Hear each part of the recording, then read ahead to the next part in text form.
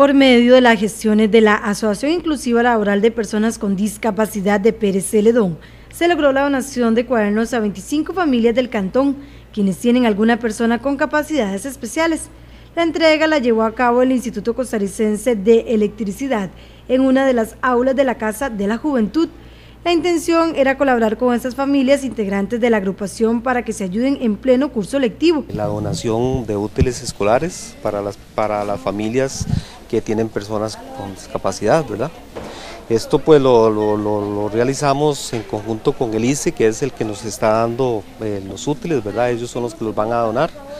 Eh, nosotros le habíamos hecho una solicitud hace unos meses, ¿verdad? Para, para eh, ver si había la posibilidad en que nos donaran algunos útiles para los niños de personas con discapacidad o familias, porque como usted sabe que donde hay un, una persona con discapacidad, pues hay pobreza, ¿verdad? Entonces la idea era eso, eh, eh, que se nos donen los útiles y hoy, gracias a Dios y muy contentos porque hoy va a ser la entrega de, estos para 25 personas. Este año en el ICE se encuentran colaborando con diferentes centros educativos y organizaciones, como en este caso para darles cuadernos tanto para alumnos de escuelas como de colegios. Dentro de la proyección social que tiene el ICE, Em, este año comenzó a, tratar de,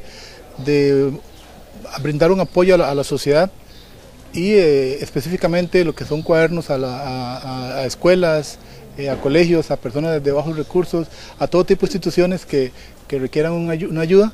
Entonces este, este año se comenzó con ese proyecto y eso es lo que hacemos, venimos a entregar unos cuadernos que tenemos para que sean utilizados en, la superación personal como es el estudio. ¿verdad? Los beneficiados se mostraron muy agradecidos por la ayuda. me parece excelente porque definitivamente para que los hijos estudien, hoy día aunque sea cuadernos hay que comprarlos, ¿verdad? Y el que a uno le donen unos cuadernos ya eso es de mucho beneficio para uno.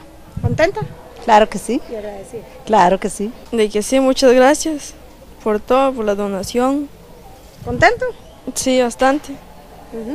Qué importante que les donen cuadernos, ¿verdad? Para seguir estudiando. Sí, a mí me gusta mucho estudiar y, seguir adelante y tener una carrera. ¿Y qué le gustaría hacer?